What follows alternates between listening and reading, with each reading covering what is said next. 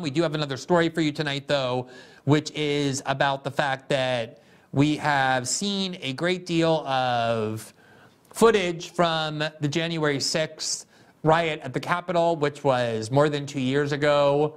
We have, however, seen only a portion of that footage. The portion that we've seen is the portion that the January 6th committee chose to show us. The portion that we have not seen is the portion that that January 6th committee chose to conceal from us.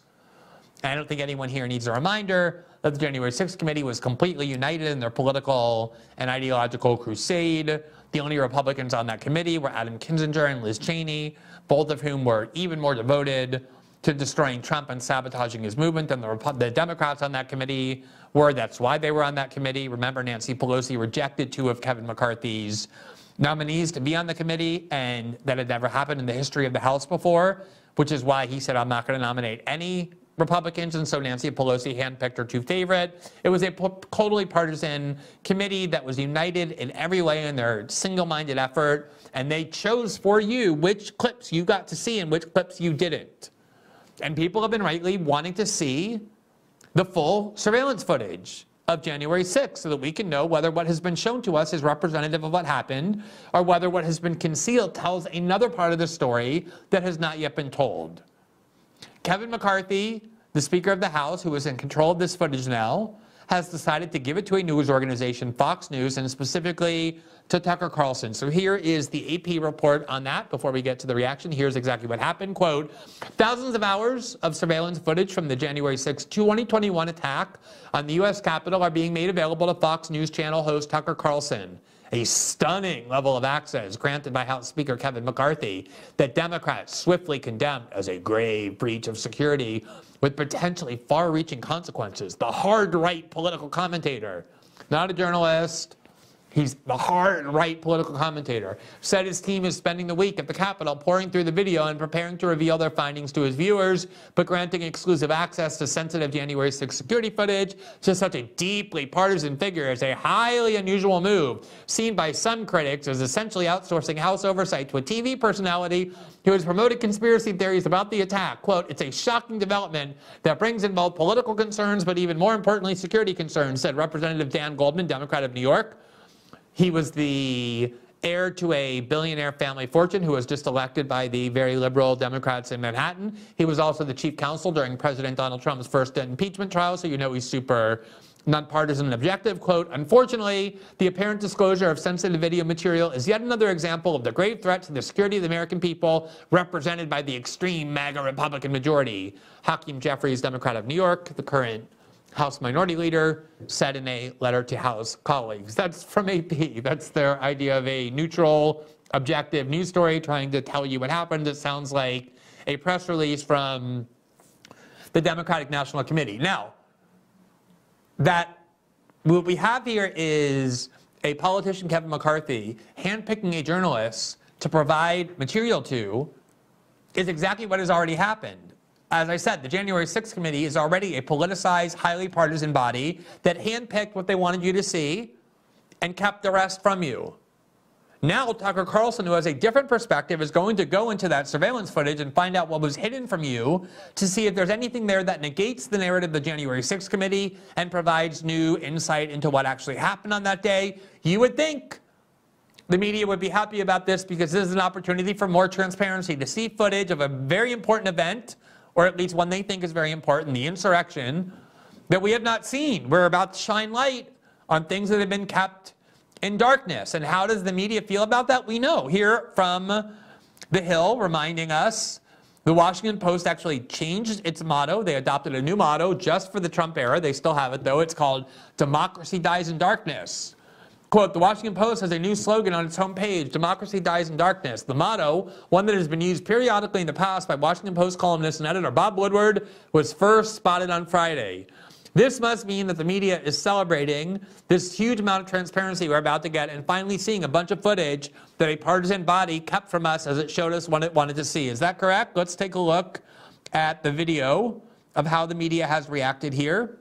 Uh, let's start with uh, what is going on at um, and, and, and MSNBC and NBC. Here is the always sober and insightful NBC host Joy Reid interviewing Congressman Jamie Raskin, who is a Democrat. He is also a member of the January 6th committee. So remember, the person you're about to see, the politician you're about to see, was already part of the body that handpicked surveillance footage and showed it to you while keeping the rest. Listen to what he says in his reaction to this news. Is there is are we in danger of not just that of people of them trying to twist this footage, cut little pieces of it that they think will help criminals get out of jail or get out of trouble, but also I'm concerned that, that these are the people that the Russians listen to including yeah. Tucker, that he can put on something that is false, not real, but that is very useful to our enemies, including knowing where the security cameras are on Capitol Hill. Well, there seems to be some fish life consuming the right part of Joy Reid's body, but let's ignore that. I think one of the things I want to focus on instead is do you notice how they cannot discuss any kind of political debate without instantly invoking the Russians Tucker's going to show the Russians where the security footage is, and then what? The Russians are going to go and invade the Capitol? Is that what's going to happen? We, we already have seen so much of this surveillance footage that shows where the cameras are and shows so much of where everything else is. And instead of questioning the journalistic aspect, which I think is valid, why should one journalist get this and not have it released to the public at large, which I'll get to in a second?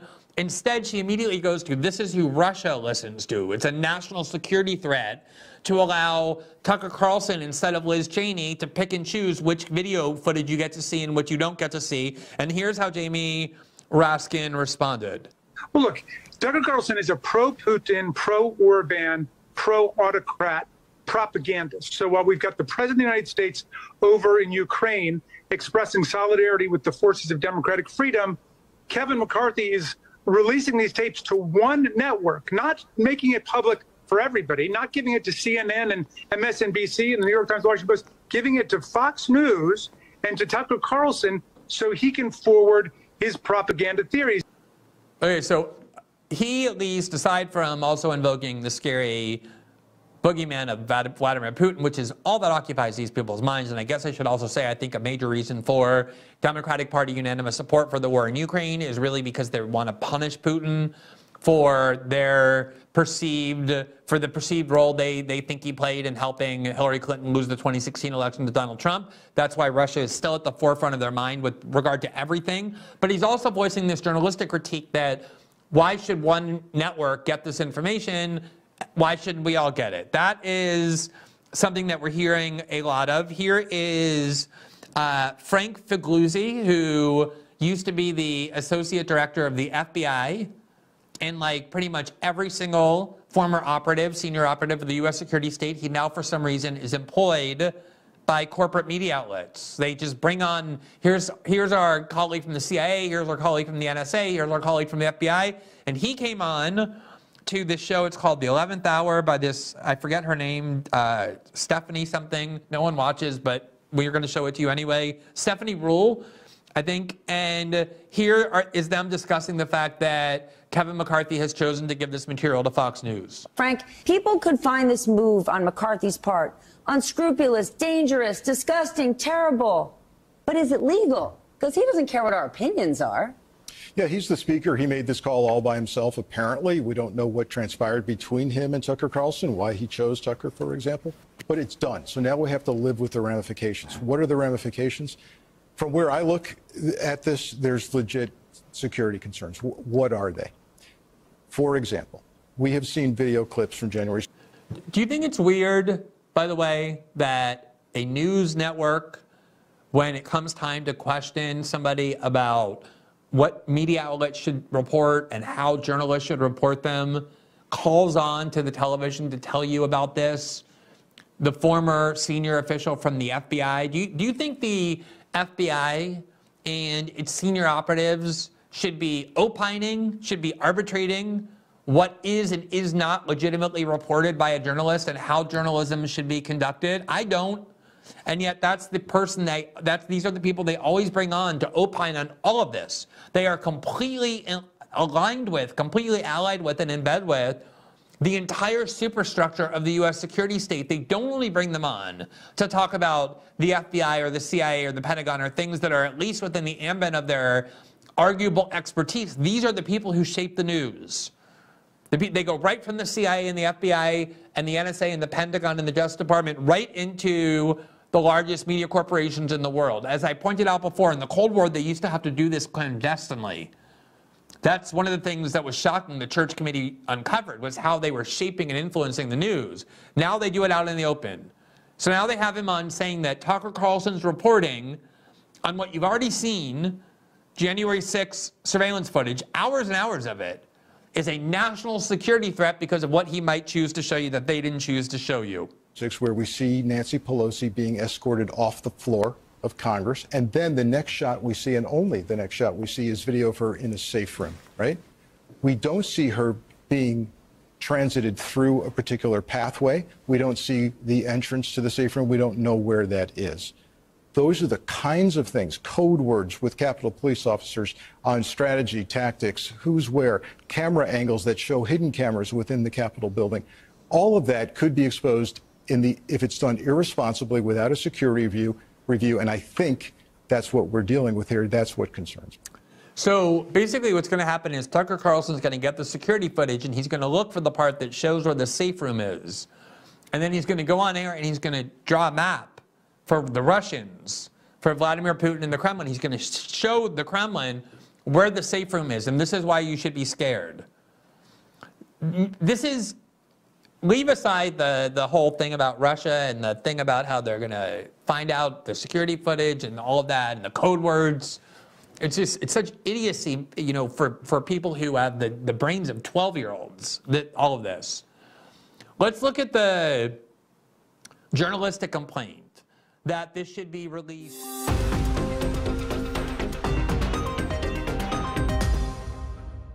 Thanks for watching this clip from System Update. Catch our full shows for free, live weekdays at 7 p.m. Eastern on Rumble, and join our locals community at greenwald.locals.com for all of my written journalism, exclusive after show Q&As, and more.